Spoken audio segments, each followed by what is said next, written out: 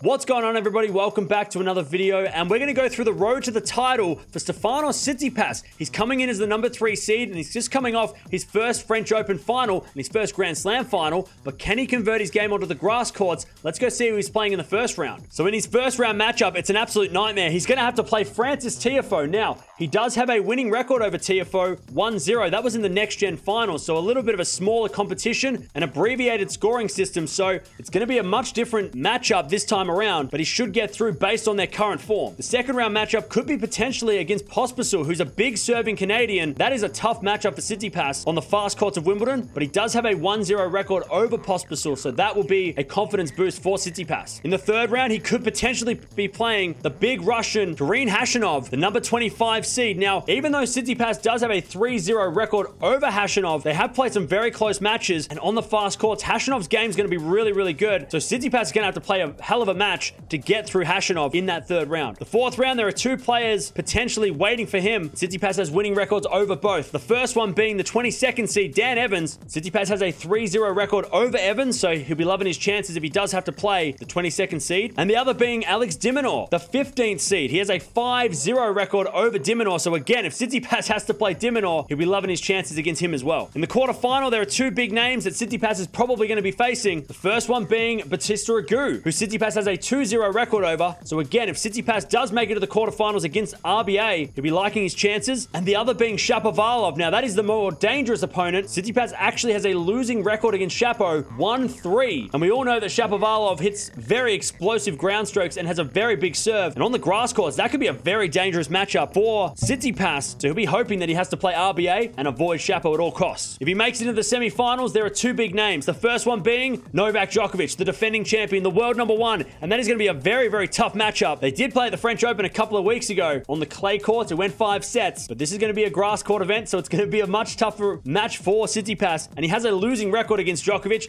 two and six. So we'll see if Tsitsipas can maybe take some revenge against Djokovic if they do play. And the other opponent being Rublev, the number five seed. Now, Tsitsipas has a winning record over Rublev, four and three, but on the grass courts, I would favor Rublev in that one. So it'll be interesting to see how Tsitsipas does adjust his game from clay to grass, and if he does play someone like a Rublev, how he can compete with the hard hitting of Rublev. In the final, there are four opponents potentially waiting for Tsitsipas. The first one, Roger Federer. Now, he has a 2-2 record over Federer, which is actually pretty good. Not too many players have a good record against Federer. So Tsitsipas, you might actually like his chances if he does get to the final against Fed. The next opponent being Sasha Zverev. Now, he has a 6-2 record over Zverev. So again, if he plays Sasha in the final of Wimbledon, you might like his chances because of that winning record. And he did beat him at the French Open a couple of weeks ago. The third opponent being Berrettini. And again, he has a winning record over Berrettini, 2 and 0. So again, that confidence will be with Tsitsipas if they do meet in the final. And the third opponent is the number 2 seed, Daniil Medvedev. Now, Tsitsipas has a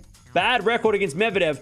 Two wins, six losses, but he did beat Medvedev a couple of weeks ago at the French Open, so maybe that'll give him some confidence. But if he does play Medvedev in the final, you'd expect that Medvedev would be the more confident of the two. So there it is, the road to the title, the Wimbledon title for Stefanos Tsitsipas. We haven't seen him play on the grass courts for two years. He didn't play any warm-up events either, so let me know down in the comments below, how far do you think Steph can go this year? I know some of you think that he can probably win the whole thing. The Stefanos Tsitsipas, the French Open finalist of a couple of weeks ago, let's see how far he's going to go at Wimbledon in 2021